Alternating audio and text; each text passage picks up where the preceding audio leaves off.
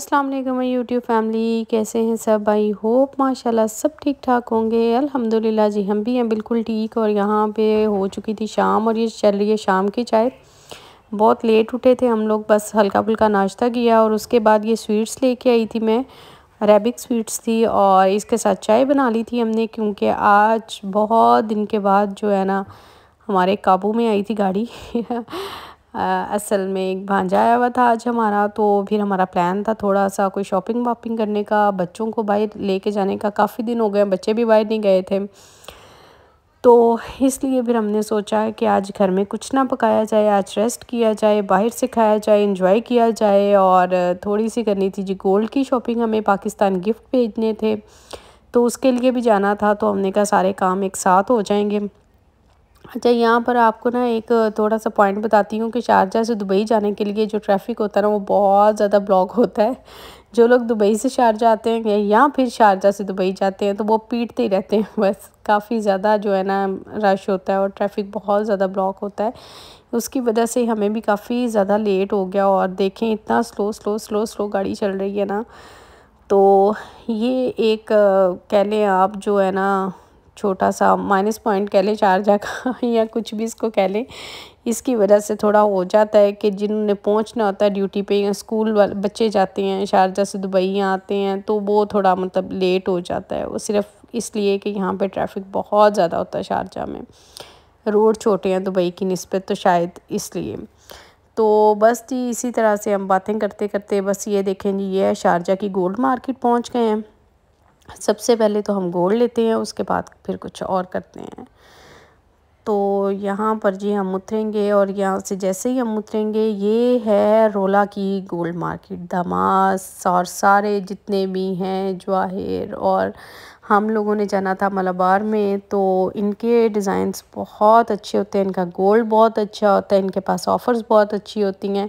आजकल डायमंड पे ऑफ़र्स लगी हुई है और ये देखें वैलेंटाइन ऑफ़र्स और ये बड़े, बहुत ही ज़बरदस्त यार इनके डिज़ाइन और इनके, मैंने जितना भी गोल्ड लेना होता है ना, मैं इनके पास ही जाती हूँ हमेशा से। यहाँ पर जी हम लोगों ने अपना गोल्ड कर लिया था चूज़ जो हमें चाहिए था, हमने जो लेना था वो ले लिया और उसके बाद जो है वो अब हम करवाएँगे, इसका फ़ाइनल फ़ाइनल बिल करवाएँगे और उसके बाद फिर जाएँगे जी घर वापस। घर वापस नहीं जाएँगे। क्यों जाएँगे? अभी इसके साथ ही ये जूस वर्ल्ड हम वहाँ पे जाएँगे। अभी ये हमारी पैकिंग वैकिंग और अच्छा यहाँ पे मैंने गोल्ड इसलिए नहीं दिखाया था क्योंकि मुझे गिफ्ट पहनने थे तो वो सरप्राइज़ ख़राब हो जाता। तो इसलिए जो है ना, मैंने वो फिर इसी तरह से पैक करवा लिया। तो ये रहा जी हमारा गोल्ड और अब हम जाएँगे बच्चों को लेके। जूस वर्ल्ड बिल्कुल साथ ही है। ये है जी ये देखें। यहाँ की तारीफ़ मैंने बहुत सुनी है और अब जाके आज देखते हैं इसके रिव्यू भी देते हैं आपको कि कैसा है कैसा नहीं है। आ, सुना तो यही है कि इनके शेक्स बड़े अच्छे होते हैं और बड़ा अच्छा अंदर से भी खैर बहुत अच्छा बना हुआ है बाहर से भी देखने में काफ़ी अच्छा लगता है। लेकिन वो तो अब कुछ मंगवाएँगे अभी बच्चे डिसाइड कर रहे हैं कि क्या मंगवाया जाए अपनी अपनी पसंद के जो इनको फ्लेवर चाहिए। यहाँ पे ऑर्डर दे दिया था और उसके साथ साथ मैंने कहा, जी, आपको थोड़ा सा जब तक हमारा ऑर्डर आता है, आपको मैं दिखा दूँ, इतना खूबसूरत इन्होंने डेकोरेट किया हुआ था। बच्चों के लिए ख़ास तौर पे जो है ना, अच्छी जगह है बच्चों को लेके जाने के लिए। तो ऑर्डर अभी किया हुआ ऑर्डर आता है तो फिर हम आपको बताते हैं कि कैसा था जूस ठीक है? और ये देखें, बड़ी प्यारी सी, छोटी सी गाड़ी है यहाँ पर। अहमद वेट कर रहा था इसमें बैठने का, लेकिन ये बच्चे उतरने का नाम ही नहीं ले रहे थे। अच्छा यहाँ पर ये सिटिंग एरिया इनका है, बिल्कुल मेन रोड के साथ। और यहाँ पर मैं आपको दिखाती हूँ कि बच्चों के लिए इन्होंने फन सुन छोटा सा ये देखें, बनाया हुआ है बिल्कुल एक साइड पर और मतलब ये है कि अगर आप बच्चों को लेके जाते हैं, आप इंजॉय कर सकते हैं, आराम से बैठ के और बच्चे अपना खेल सकते हैं। ये देखें, ये बिल्कुल एक छोटा सा एरिया एक साइड पे है। यहाँ पे जी हमारा ऑर्डर आ चुका था और ऑर्डर हमारा, ये देखें जी कितना ज़बरदस्त उन्होंने जो है ना हमें ला के दिया है। लेकिन मसला ये है कि ये जितना प्यारा लग रहा है देखने में क्या पीने में उतना ही अच्छा होगा। बिल्कुल नहीं। मतलब बच्चों को इनके चॉकलेट मंगवाए थे, उन्होंने जूसेस, वो पसंद नहीं आए। खैर, मैंने जो अपना अजवा आलमंड वाला मंगवाया था, ये वाला ये बहुत अच्छा था। बच्चों ने कहा, जी, ये वाला चॉकलेट वाला जो है, ये हल्का सा हमें नहीं पसंद है, ये कड़वा है।